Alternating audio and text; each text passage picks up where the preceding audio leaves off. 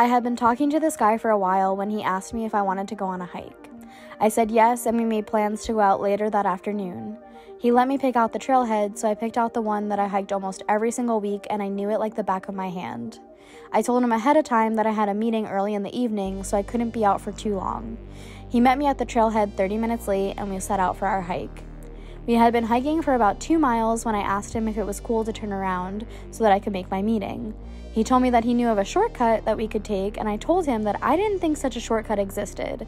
And like I said, I knew this trail pretty well. He insisted he knew exactly what he was talking about, and eight miles later, his dog was so completely exhausted that he had to be carried, and I completely missed my meeting.